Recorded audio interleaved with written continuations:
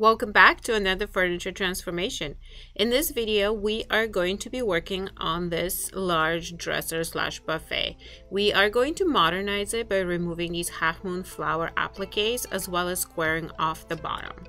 In general, this dresser is in great shape and if you know and if you've been watching my videos, you know I really like to complicate things. So because this is a beautiful dresser, we are going to cause a little bit of damage to it in order to make it even more modern. And here you can see it was fun to remove those appliques which didn't want to budge for a while. The next thing I am going to do is remove the outdated hardware. My client picked out a very modern silver hardware to go on here.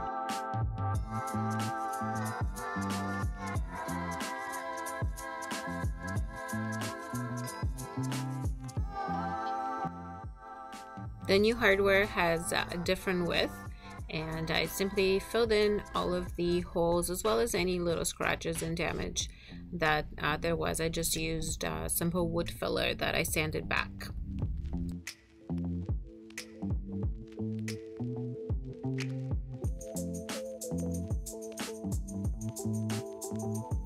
I will have a list of products in the description of everything that I used a lot of the paint and products will be from my website, doveandarrowshop.com.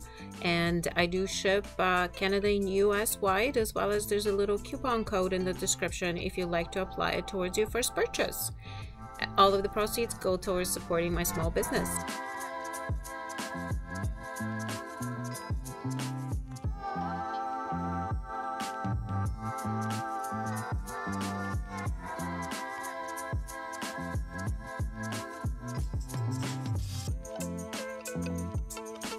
And if you recall, this dress didn't have much damage to it. It was in pretty good shape. I caused quite a bit of damage, but I filled in everything with wood filler, sanded it back, cleaned it off, and it was time for my favorite combo. I started out with the Wise Owl Stain Eliminating Primer in gray. This primer is great to even out the surface because I have used wood filler, I have removed bits.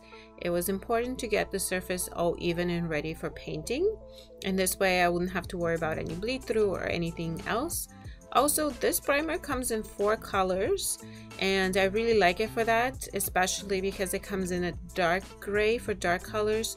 In hindsight, I probably should have used a dark gray because I am going with a darker color, but I had this can open and might as well finish it off.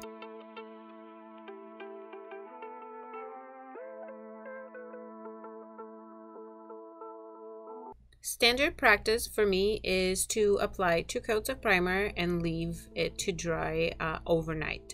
I really like to leave primers overnight so that all of the blocking properties can really activate. It doesn't matter if it, it is this Wise Owl primer or a shellac based primer and so forth. Something to note if you're using Wise Owl products, you cannot use shellac based primers or anything like that underneath them. It's important that with Wise Owl you use their primer if it's required and if the paint requires an additional top coat, use it Wise Owl products as well. So this paint is a little bit finicky in that regard, but uh, all of the primers and top coats are amazing and they work really great.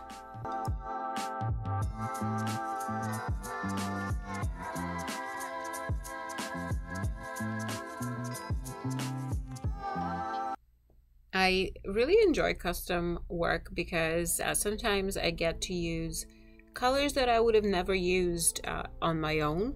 For example, in my last video, you saw me use a really nice pink color, and in this video we are going to use a blue color by Wise Owl one hour enamel called Inkwell. It's a nice rich dark blue which um, I personally would have never used it. And it was great to actually put it on this dresser and now I'm going to paint a couple more pieces because I really liked uh, this color. It was completely out of my comfort zone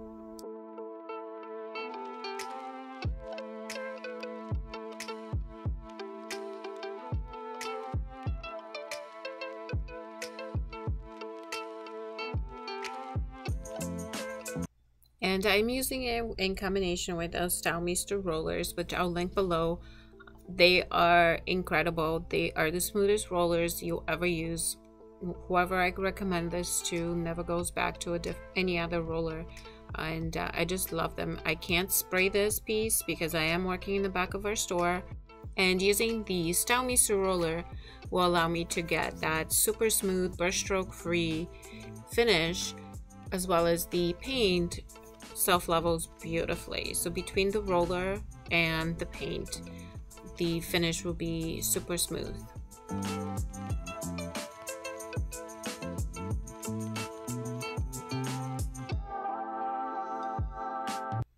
If you've learned a little something during this video, I'd love it if you subscribe to the channel.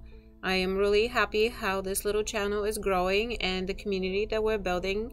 I love reading your comments with all of your suggestions of how to improve things and ideas. And if you can hit that notification button, you'll be notified every time I upload a video. I have some great little shorts planned where we tackle uh, a bit of uh, the backup of projects that I have in the back room of my store and so forth. So subscribing will be fun. I love to have you as part of our community as well as liking this video really helps get um, more eyes on it. So I really appreciate all of your support.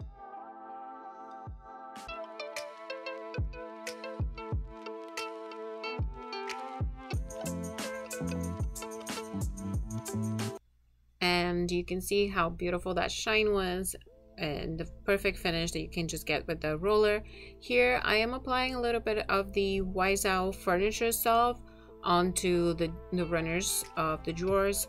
They were quite dry and this will really help them glide and move much easier. And it's just as simple as just applying it to the runners and just moving the drawers back and forth a couple of times. You can see how the wood is quite dry and this really, really helps it because we're applying new hardware to this dresser I had to drill new holes I just simply measured and re-drilled them the other thing I had to fix was the length of the screws in the back they were very short there was very little room on the drawer so I had these adjustable screws which are a lifesaver because you can actually get the screw to be any length the other trick would be if your screw's too long you can always use a little washer but with these screws, I could just cut them to the right size. It took a little bit of effort, but it worked out.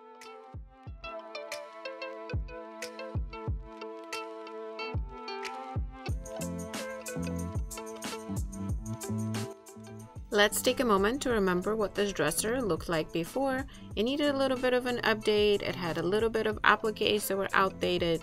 The base needed to be squared off for a more modern look. And here we go. Let's see what I really, really like this Inkwell color by Owl One Hour Enamel. It's unexpected, but it's beautiful. The silver hardware really modernized the piece.